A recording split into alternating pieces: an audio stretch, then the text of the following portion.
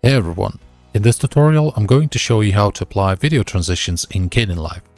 So here I have three video clips already added to my project bin. First, let's bring them into the timeline. So I'll drag each one down onto the video track 1 and place them one after the other. Okay, and by default, when clips are placed back to back like this, Kdenlive simply creates a hard cut. This means the first video ends and the second begins instantly without any visual transitions. If we want to apply a nice visual transition, we have to create an overlap between two clips.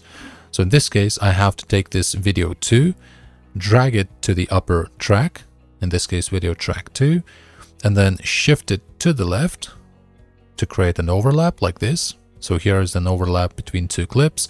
And then if I navigate here on the lower left corner, you will notice this uh, small purple circle icon. So it's a add transition handle. Just click on it and Kdenlive would automatically add a dissolve transition between the clips. So now if I replay the clips, this is the dissolve transition. So here above you have transition parameters and in here you can control the softness, invert, revert or if you open this drop down you can actually choose a different transition. So let's say by default it's set to uh, dissolve. I can change it to bilinear Y.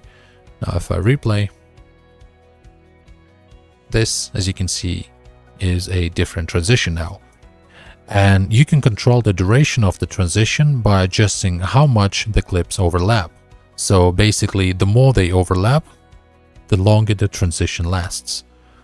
So if I overlap them this much, and then just zoom in here on those clips, so I can move the transition to the start here, and just drag it like this. Okay, now the duration of this transition has increased. Let's play again. And there is our long transition. Now, if you want to carry on with the rest of the clips, again, you just have to create overlaps like this. Click on the uh, add transition handle. And as you can see by default, we have dissolve transition. Okay. And this is it, guys. This is basically how you create smooth video transitions in Kdenlive. So I hope this was useful. Please don't forget to like, comment, subscribe, and see you in the next tutorial.